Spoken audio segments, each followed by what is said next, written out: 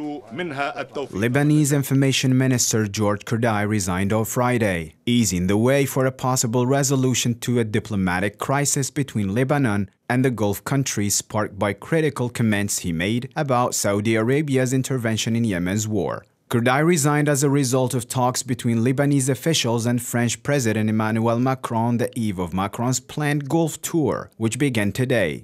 According to sources, Macron may use Kordahi's departure to justify lifting the sanctions against Lebanon during meetings with Saudi officials. However, it is unclear whether the minister's resignation will result in a compromise.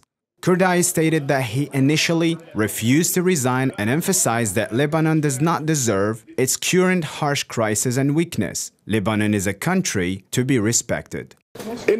What annoyed me personally, and it bothered the people from different Arabic countries who were supposed to be close to me, is that some of my friends spoke negatively of me.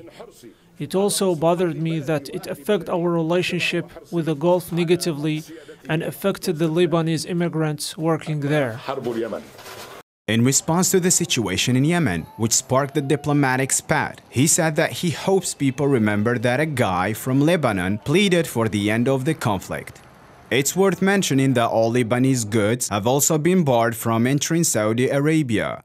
The Saudi Foreign Ministry said at the time that the sanctions were not simply in response to the insulting remarks, but also because of the influence of Hezbollah, Lebanon's Iran-backed Shiite party and militia.